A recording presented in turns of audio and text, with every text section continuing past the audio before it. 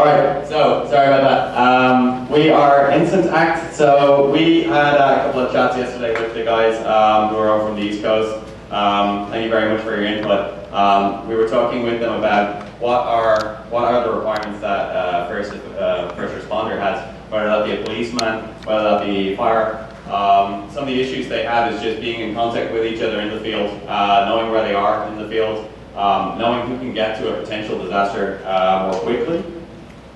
So taking that into account, we also talked about what technology is there. So they, they said they have these radios, they're going out of date. Um, we felt that basing a new technology on a single company or the, the companies who make specific devices for police and emergency services was not the way forward. We feel the way forward actually for these emergency services is to base things on consumer grade hardware, iPhones, Android phones, stuff that's out there already. Thank you. Bring down the cost of things. Don't don't give it to monopolies. Put it out there on some sort of open platform. That's why we, we built a web-based app, um, uh, which I'll show you now in a minute. So uh, we had a couple of couple of uh, teething problems with uh, with the integration, but what we wanted to show you guys here was um, the notion of a an app that has two users. So I'll just briefly show you the URL here. You'll see that that is one HTML file.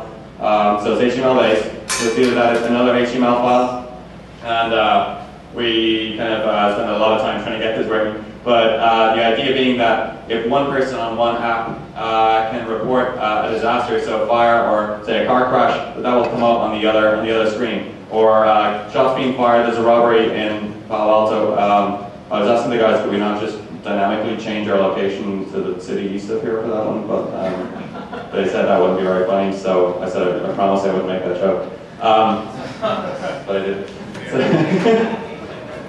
Sorry, local joke. So that's um, that's that's what we wanted to show. The, so that's it, it, it's browser based. That's why I'm showing it in the browser. We also had it here, um, so demoing it on an iPhone. Um, idea being an officer is out in the field. He has he has this this this phone with him. Uh, what we also wanted to build in was okay. So they have radios. The radios have a limited limited range. We could move to um, mission critical voice based LTE communication. That's great. It has some drawbacks. What happens if the network's down? Um, not something we can hack together on the weekend, but there are technologies out there and in development where you can plug into a phone, plug into the 3.5 millimeter jack, and actually send uh, send those messages over over uh, analog. So we said, right, let's base the app. Let's use the technology we have today. Let's base the app on communication that's there, LTE, high-speed voice.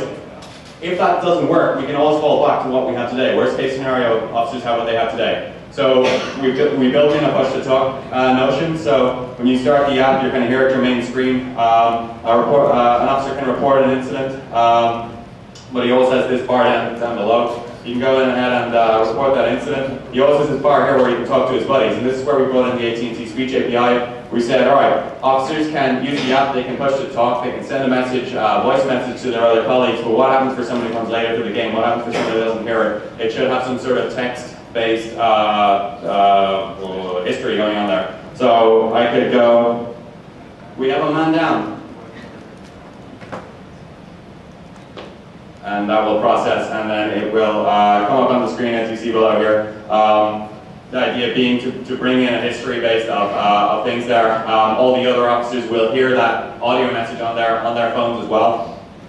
And um, just in general be able to see each other on the map, moving map. So we don't have enough devices to, to demo uh, lots, of, lots of different people around, um, but you can use your imagination. Other, other developments we talked about um, that we didn't have time to do this weekend, integration with the SMS API. So what happens if the LTE goes down? What happens if there's no data? However, we could take these voice commands, we could take the, um, whatever people put in there, whatever people say, we could send it via SMS so that we're not relying on data, we could rely on the standard GSM network.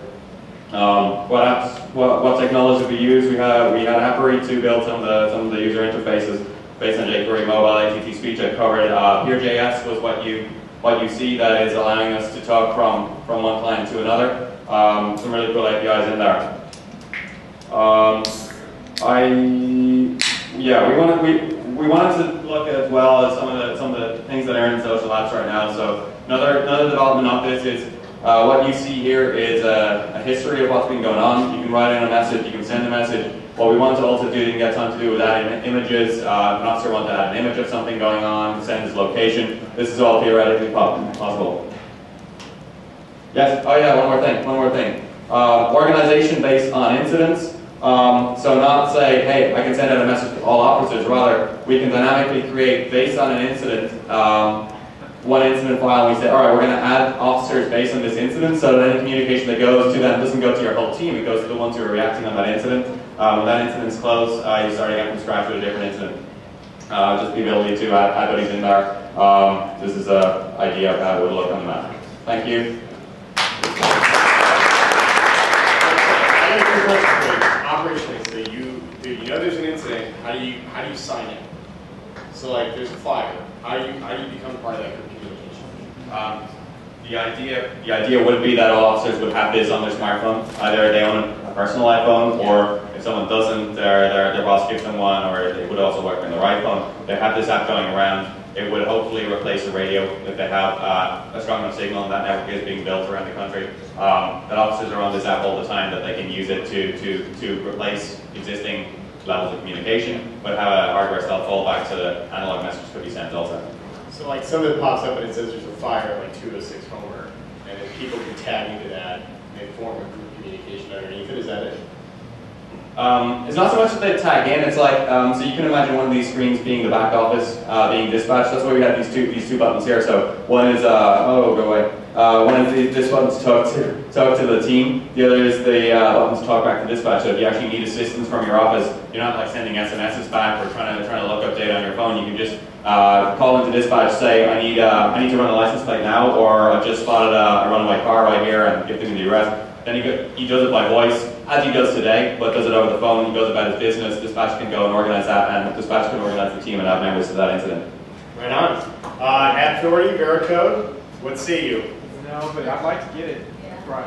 All right, let's see the code man, but you guys have to wear these on the way back. We did, Right. we did